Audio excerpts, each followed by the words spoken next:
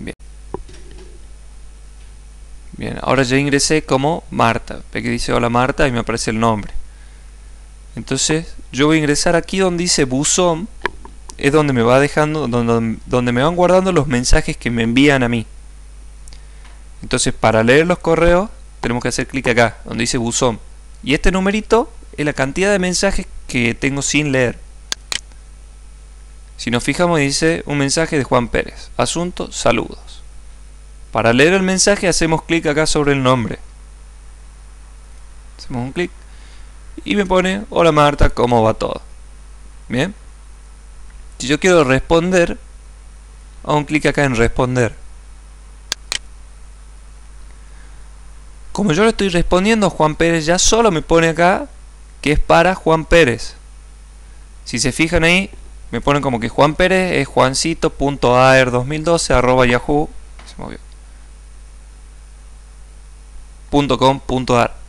Ya solo me pone el destinatario. Asunto RE saludo. El RE se, se refiere a que estoy respondiendo lo que me mandó Juan Pérez. Y aquí directamente escribo el mensaje.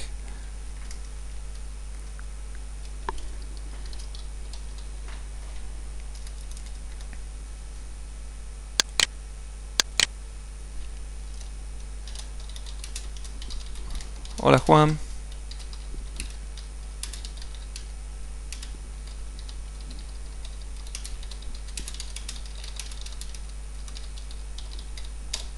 Bien.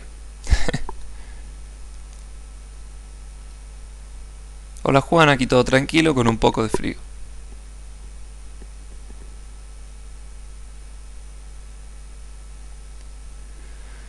Una vez que yo escribo el mensaje, si quiero le puedo agregar caritas, Ahí donde dice caritas y le agrego las caras. Ahí tenemos. Bien. Una vez que escribo el mensaje, doy clic en enviar.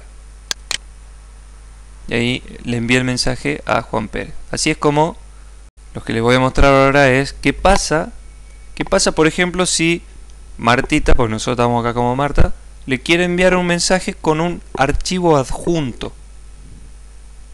Un archivo adjunto puede ser una foto, un documento escrito, cualquier cosa que yo le quiera enviar como un archivo adjunto a Juan. Entonces hagamos desde, entonces veamos desde el principio. Me voy acá a escribir mensaje, a un clic para aquí pongo la dirección de Juan, que era juancito.aer 2012 arroba yahoo.com. En asunto le vamos a poner, por ejemplo, foto de mi perro. Un perro cualquiera puse yo como foto, no es que sea mi perro. Entonces, nos vamos aquí donde dice archivos adjuntos. Y después a adjuntar archivos. Yo la foto la tengo aquí dentro de bibliotecas, imágenes Y ahí tengo, a Abre. Y ahí esperamos a que cargue la foto. Me ponen. Hola Juan. Te envío la foto de mi perro. Una vez que ya está cargado, le doy clic en enviar. Bien. Siempre que terminemos ya sea de leer los mensajes, de responder, siempre que terminemos de trabajar con el correo electrónico, tenemos que hacer clic acá donde dice salir. Eso es importante porque a veces estamos en un ciber y es para no dejar abierto porque puede entrar cualquiera y, y hacer macana.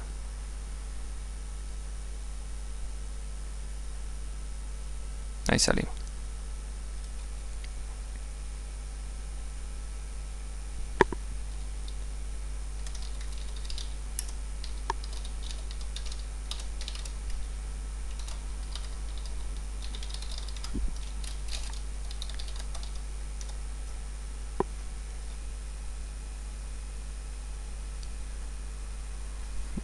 Yo ahora ingresé, ya ingresé, digamos, con el correo de Juan. Si se fijan, dice hola Juan. aquí me dice que tengo dentro del buzón tengo dos mensajes sin leer. Entonces hago clic acá y me dice Marta Sánchez. ¿Qué hizo Marta? Me respondió lo que yo le mandé que era los saludos. Hago un clic acá. Hola Juan, aquí todo tranquilo con un poco de frío. ¿Bien? Este es el mensaje que me respondió Marta. Entonces yo me voy acá al buzón y ahora voy a leer el otro. Que dice Marta Sánchez, foto de mi perro. Hago un clic. Esto que me aparece, este cuadradito, son los que están sin leer. Hago un clic acá. Hola Juan, te envío la foto de mi perro, dice Marta. Aquí ya nos aparece la foto. Podemos hacer clic acá en bajar o directamente acá sobre el nombre de la foto. Esto es, se fija si tiene algún virus. Esto es propio de Yahoo. Solito se fija. Le damos clic en continuar. Dice que está todo bien. Con el tildecito ese. Continuar. Yo le voy a poner guardar. Y me dice, ¿dónde la querés guardar? Yo le voy a poner en el escritorio. Voy a dar guardar. Ahí se terminó. Cerramos. Si se fijan, ahí está la foto. Acá me la puse en el escritorio. Le hago doble clic. Ahí está la fotita. Bien. Entonces hemos visto cómo se envía un mensaje, cómo se responde y cómo se envía un archivo adjunto, en este caso una foto.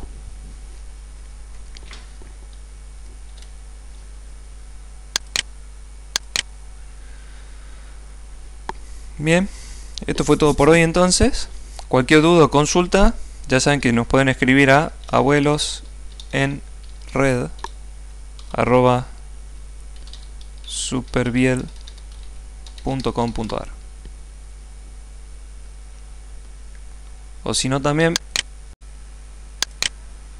si no también ingresen a la página de Abuelos en Red que es www.abuelosenred.org hacen clic acá donde dice ingresa tu usuario, ahí les va a pedir el nombre de usuario y la contraseña. Ustedes lo escriben, una vez que ingresan, hacen clic donde dice charla o aquí en bla bla bla